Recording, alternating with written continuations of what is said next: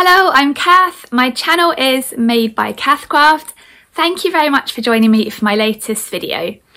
So this video is a fabric haul video and I'm quite excited about filming this one because I haven't done a fabric haul video for quite a while now. I think the last one I did was at the beginning of January because I've done a bit of shopping in the Christmas and New Year sales. And then in January and February, I didn't really buy much fabric. I was really good. Um, but in March, in the last couple of weeks, I've seen some really lovely fabrics coming through over on Instagram that have really tempted me. And I had a bit of birthday money left over from January as well. So that birthday money is now spent and in return I have a lovely pile of fabrics here that I'm really looking forward to sharing with you. Um, so I'm going to talk through each fabric and my plans for each one. I've got a pattern pairing for each one I think. Yeah, I think I have plans for every fabric that I've bought. And I've also got a couple of new patterns that I've purchased over the last couple of weeks that I'm going to share with you too. So it's a bit of a mix here and yeah, I'm really looking forward to talking them all through. But as ever, I'll start the video off with what I'm wearing today. And today I've got a really handmade outfit on actually. I've got a handmade top, a handmade vest and a handmade skirt on. So I'll start off by talking about the top you may well recognise this top as one of my favourite patterns for sort of wintry, cooler weather. It is the Freya top by Tilly the Buttons and it comes from their book Stretch. It's my favourite pattern from that book. I've got quite a few Freyas both in the top version and the dress version because it also comes as a sort of A-line jersey dress. So the version I'm wearing today is the classic Freya with the mock neckline and I love this Freya. I've worn this one quite a lot because it's made in a really lovely fabric. I'll hold up a bit close so you can see. This fabric is a ribbed tencel jersey fabric by Meets Milk.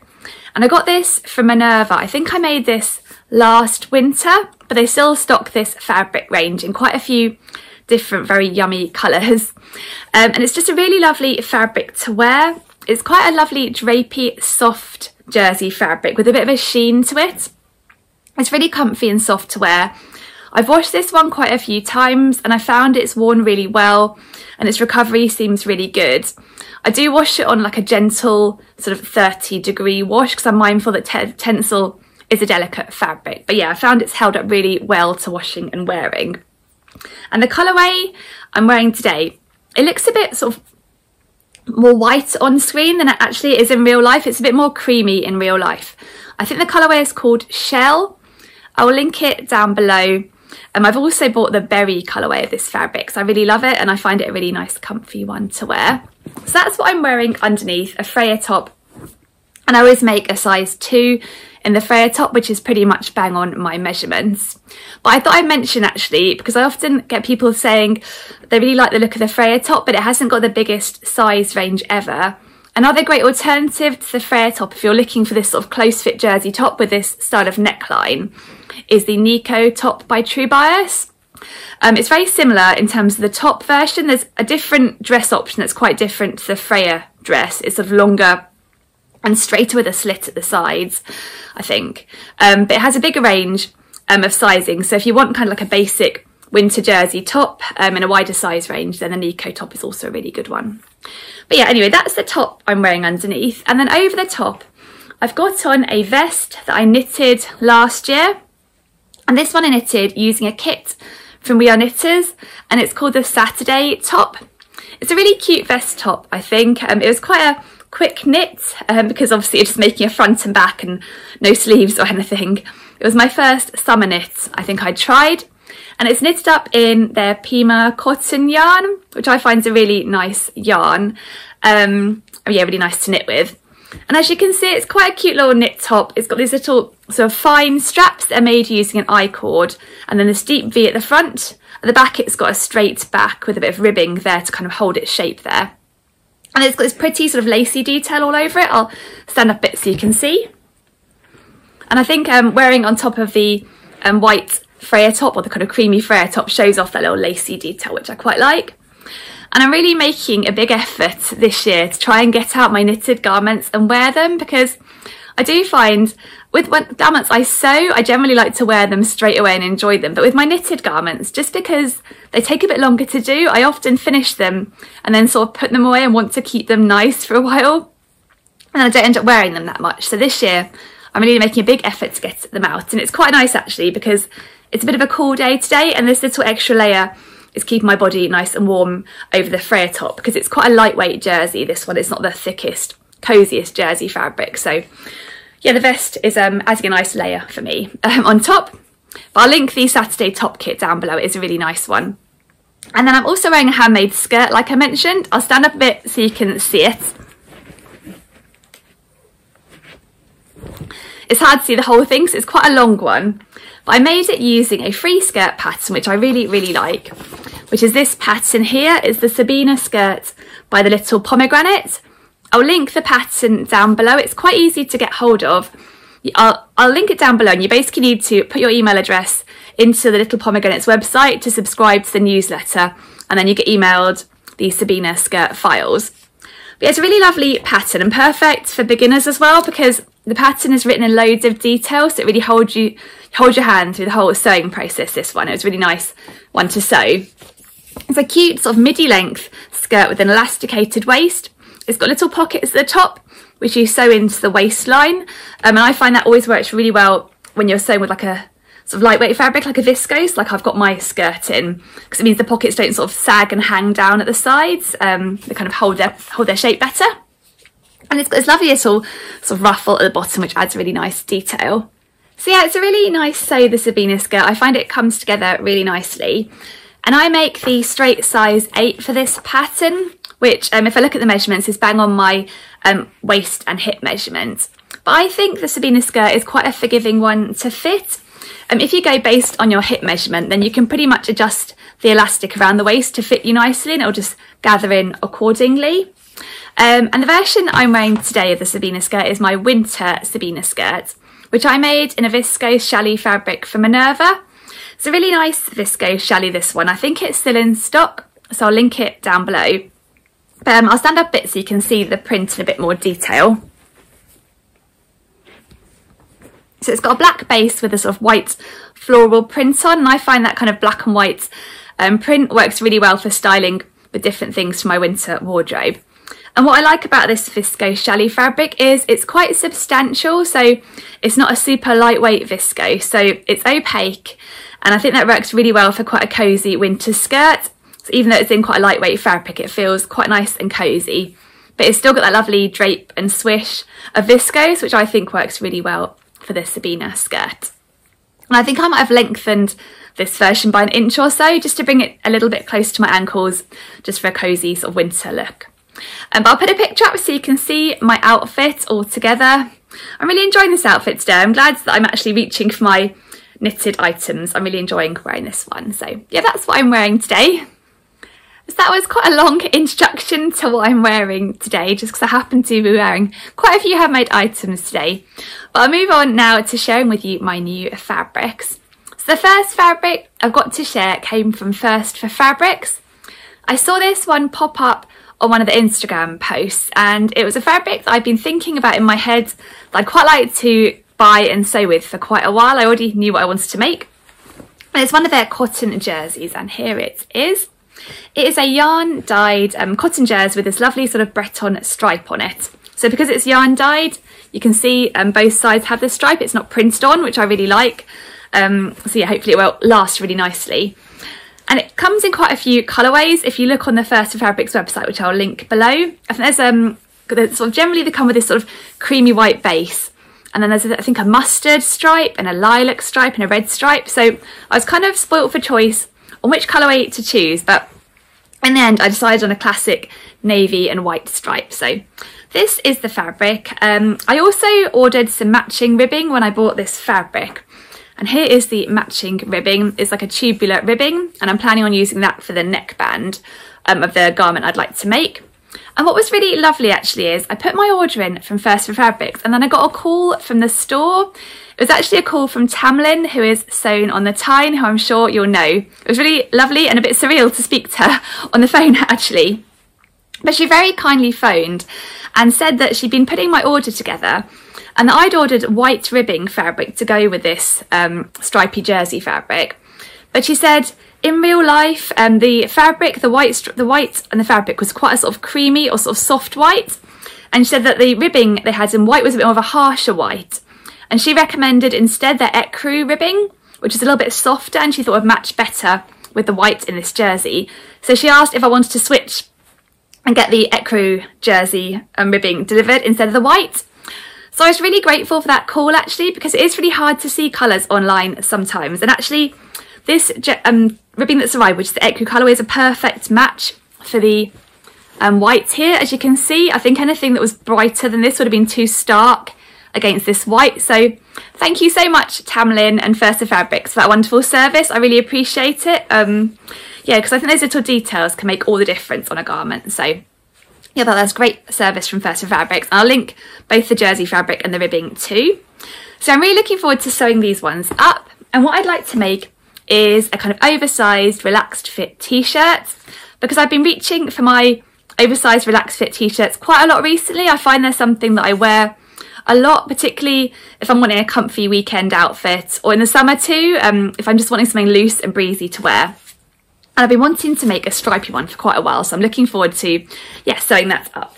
And the pattern I'd like to use for my oversized relaxed fit t-shirt is one of my favourites. It was one of my favourite t-shirt patterns. And it's this pattern here, which is the Solar Sweater and Tee pattern by Papercut Patterns. I'll show you the line drawings.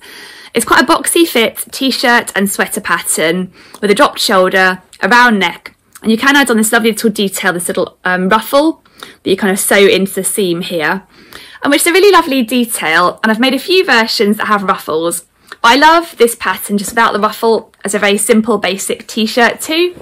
And that's what I'm planning for this stripy jersey. So it should be quite a straightforward, simple make. I'll just have to spend a bit of time making sure I get the stripe matching all sorted because they're quite fine stripes. So quite a few stripes to make sure I match as I sort of cut and sew. Um, but yeah, it'll just be a really nice basic for my wardrobe and I really like these colours.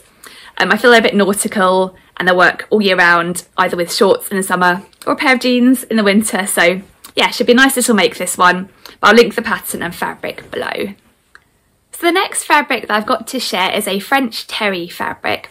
And this one came from Moonbow Fabrics.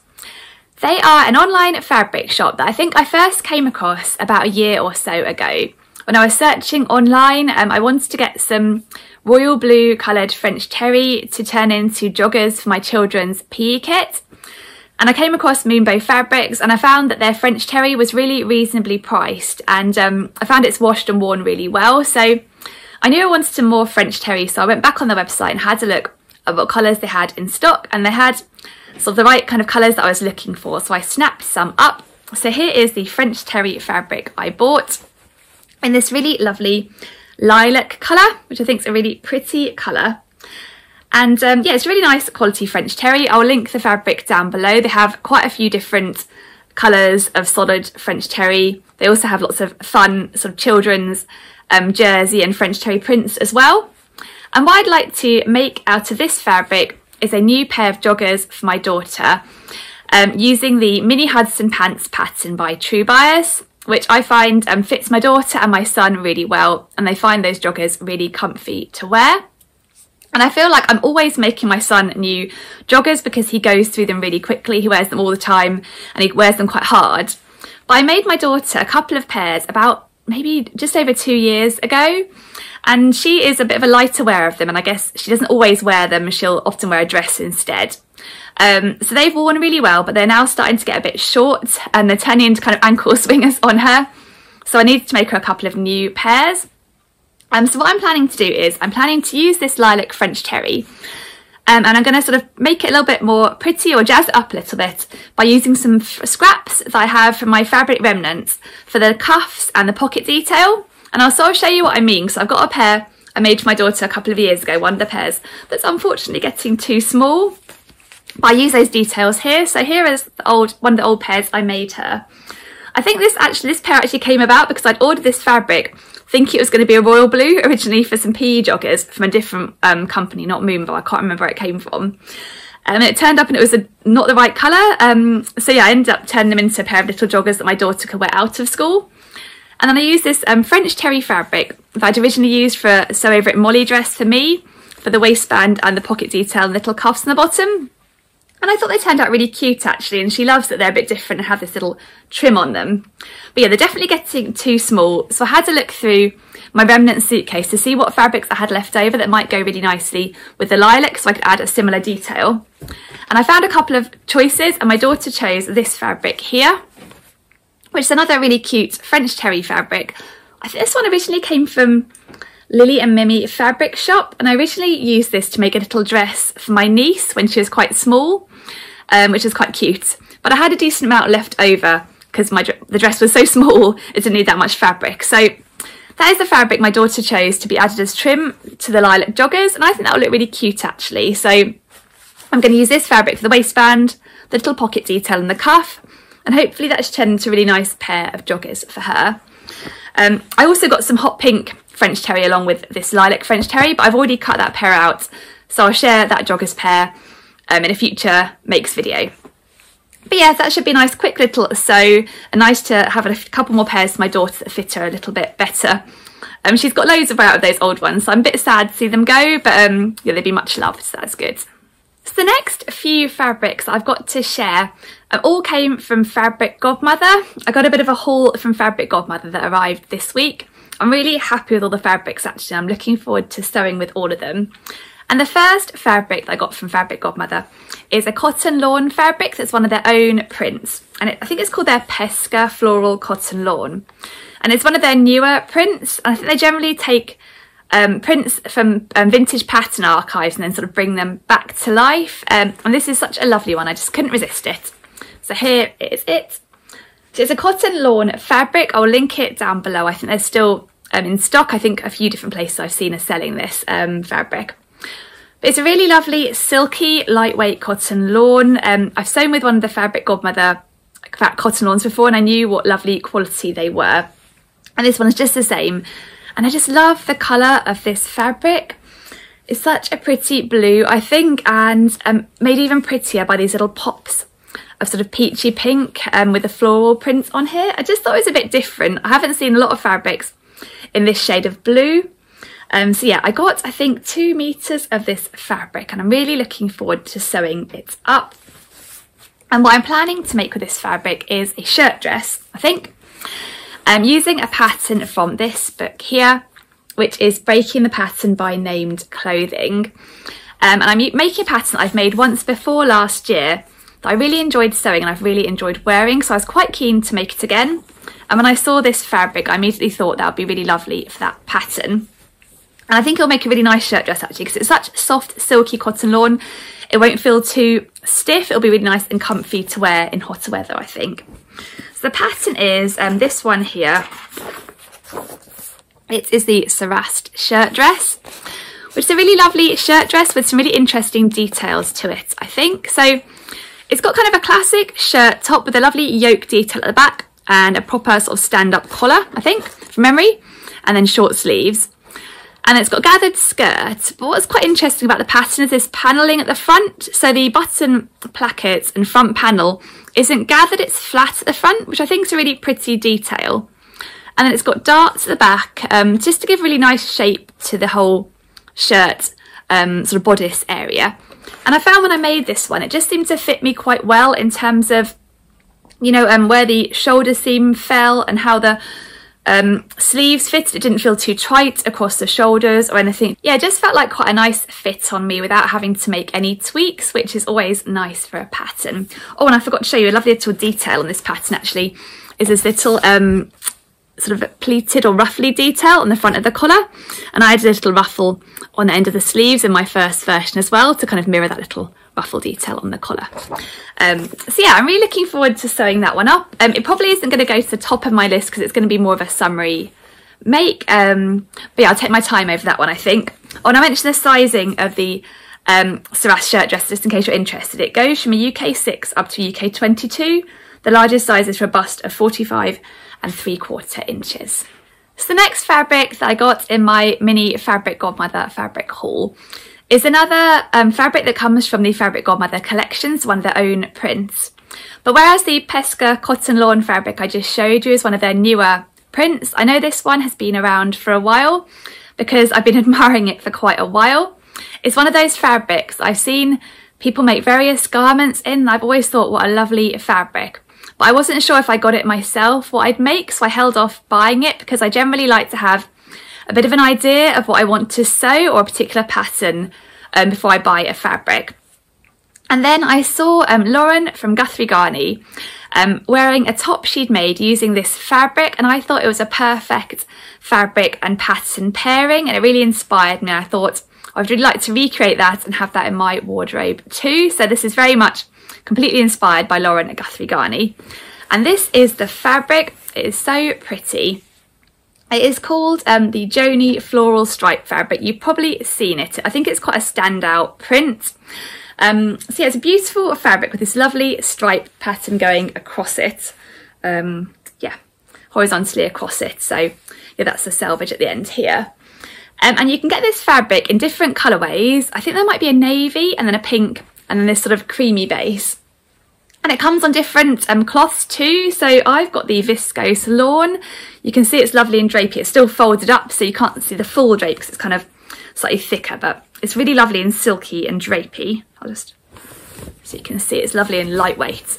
Um, but you can also get this, I think, as a cotton lawn and possibly I might have seen like a crepe version too, although I'm not sure. Um, but yeah, so it definitely comes on different ba bases. But yeah, I really had my eye on the viscose version. I really wanted to make a lovely floaty top inspired by Lauren's. So the pattern I'm going to use for this fabric is um, a fibre mood pattern. And it's this one here, it is their Tanita top. Um, so it's one I hadn't actually come across before until I saw Lauren's version. But as you can see, it's kind of a quite a relaxed fit top with a sort of boat neck and then it's got elastic on the sleeve cuffs and also elastic at the bottom. And you pretty much cut it as one front piece and one back piece. So what I loved about the top is how it really showed off the sort of full stripe of the Joni fabric. So it can go right across the fabric and down the sleeves too. I thought it was a really effective way to show off the print. See, I got this pattern from the Foldline. Um, I got the PDF version, which just was really easy to download when I purchased it on the Foldline website. And the nice thing about buying the PDF of this means that the pattern files I downloaded came with seam allowances included, which you don't get if you get the Fibre Mood magazine. And before, the only Fibre Mood patterns I've made are ones that came when I bought the magazine, so I've had to yeah, add all the seam allowances on, which is okay, because they do show you how to do it, but it just makes the whole process um, a bit more sort of um, time consuming, I guess. But this was nice, um, it came with a PDF pattern um, file attached with the layers and I've got it all printed out now and traced off.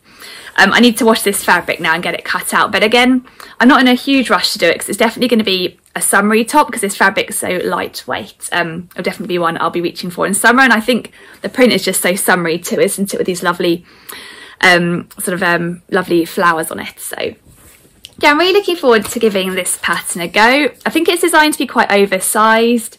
Um, I like the neckline is finished with bias binding because that's my preferred finish. So hopefully it'll up nicely. Um, I think I ordered 1.5 meters of this fabric.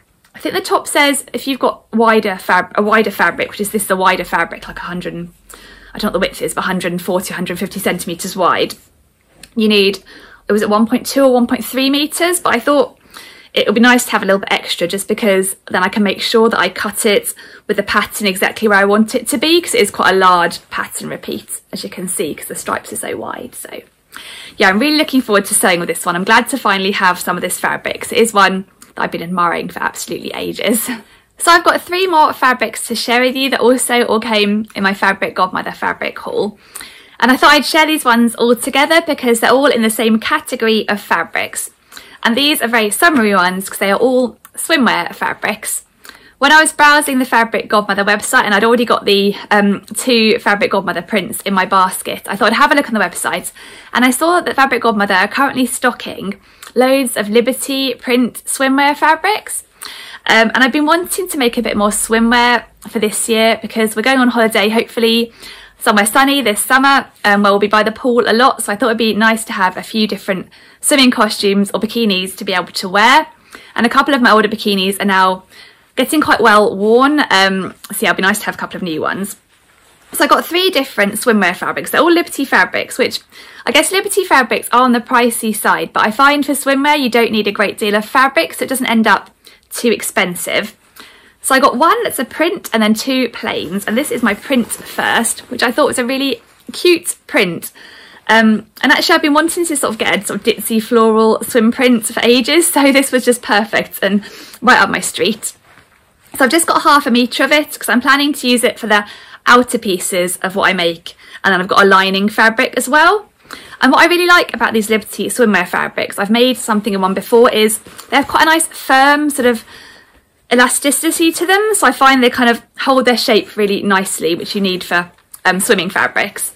And also what I really like about the Liberty swim fabrics is, and I'll just look at the computer so I use the right words, they have chlorinated pool watercolour fasteners, which I think is really good because I've definitely sewn with a couple of swimwear fabrics that I bought when I first started sewing swimwear and I opted for cheaper fabrics just because I was quite nervous about sewing swimwear and I wasn't sure how it was going to go so I didn't want to buy anything too expensive and I found the colours in those swimwear fabrics have really faded a lot um, through exposure to chlorine so it's nice to know these fabrics will hopefully last a bit better.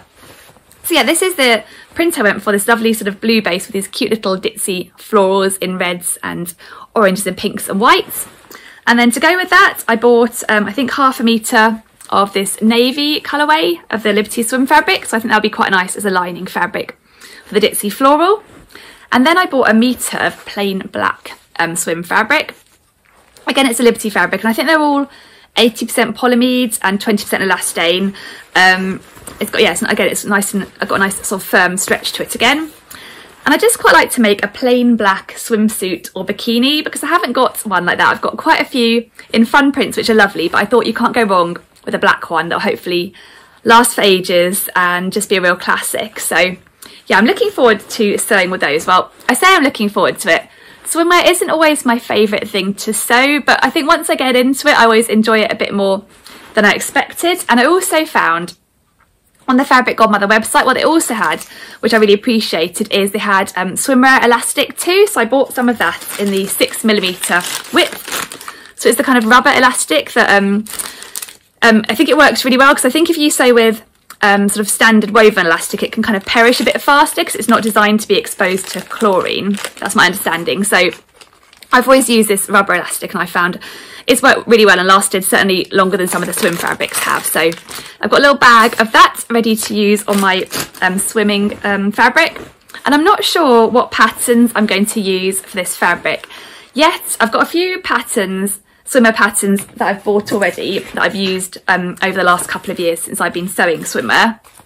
The first one I started on was the Megan Nielsen Cottesloe, which you can make as a kind of classic swimming costume or a bikini and there's a couple of options there like a high waist um, high waist bottoms or sort of low rise bottoms and then a top with a little band underneath or without the band so it's a quite nice basic one I've also got this is maybe my favourite the Friday Pattern Company Vanazza two-piece um, which has a kind of bottom that is it's not that high-waisted I've often made it a little bit higher actually which is my preference. But it's got this lovely top with this tie at the front and it's a fully lined top so that turns out really nicely. Um, I've made a few bikinis with this little tie front top and I find it it provides a quite a nice amount of coverage but it feels pretty too. So that is another option. And I've also got this one which is kind of like a fancy um, swimming costume I think. The Opian um, sorry the Pilates swimsuit by Opian. Um, and this has a sort of more extravagant tie at the front than the Vanazza I guess. It's a little bit more of a feature with a larger bow and there's lovely cutout detail on the back. And this is swimming costume rather than a bikini. And I've made that one and I love that one too. So those are three options I already have in my pattern stash but I think I'm going to have a look for a potential new pattern too because I think it might be fun to try something new. So maybe I'll use one of the patterns I already know and I'm fairly comfortable with for one option of the fabric, either the floral or the black, and then maybe choose a new pattern for the other one, um, just for a bit of interest. Um, so I might have a little browse online to see what I can find, but yeah, as again, I've got a bit of time um, before I need to worry about getting these sewn up because as long as I get them sewn up before the school holidays when we go on holiday, I should be fine. So, but it was just nice to find some nice quality swim fabrics. And like I said, you don't really need too much, so it didn't feel too naughty buying some Liberty prints. So yeah, that is my final Fabric Godmother fabric. So those are all of the new fabrics that have arrived with me over the last week or two. And then I've also got one more new pattern to share that I also bought this month. And this pattern is one that I've been eyeing up for quite a while. I remember admiring it when it first came out and I had a look online actually to find out when it was first released because I maybe thought the summer before last. It was actually released in August 2020 so it's been around for a while now. So I'm glad to finally have it and I'm really looking forward to giving it a go. And it's another quite summery pattern I guess. It is this one here. It is the Elodie wrap dress by Closet Core Patterns. So yeah, it's just a really pretty wrap dress. Uh, when I saw it come out, I thought I'd really love to sew it if I had an occasion maybe, because I thought it'd be perfect to wear maybe if you're going to a wedding or something like that. And I haven't had such an occasion, but I was actually thinking ahead to my summer holidays and I thought actually if I made the short sleeve version here in a longer length, it might be really lovely relaxed dress to wear um, out on evening to dinner. So I thought I'll get it and I'll just give it a go um, and it'll hopefully be a lot of fun. I really enjoy Closet Core patterns. I always think they have really nice details and I find their instructions really nice to follow too. So I'll show you the line drawings. So it's a wrap dress with a sort of grown on sleeve that you can either make as a shorter length or sort of longer, more billowy length. Then it's got a waistband and a tie at the middle to kind of bring it in, optional patch pockets. And you can make it in three different lengths, a sort of mini skirt, which I think is kind of above the knee, or a midi, or a maxi skirt.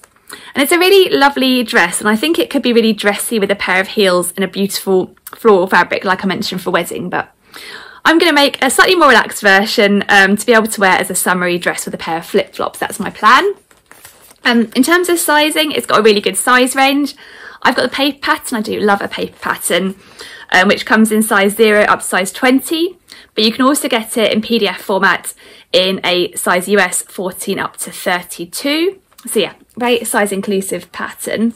And it's got some lovely details. It's got these little pleats at the front, and I think you've got little sort of um, pleats at the back too.